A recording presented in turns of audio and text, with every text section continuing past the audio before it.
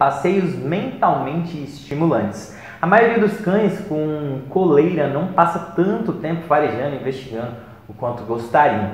Portanto, permitir que o seu cachorro tenha algum tempo para explorar é uma boa estimulação mental para ele. Esses passeios permitem que ele pare, cheira, investigue, examine os cheiros de xixis e outras coisas. Os cães acumulam conhecimento sobre o mundo pelo nariz. É o sentido deles mais desenvolvido.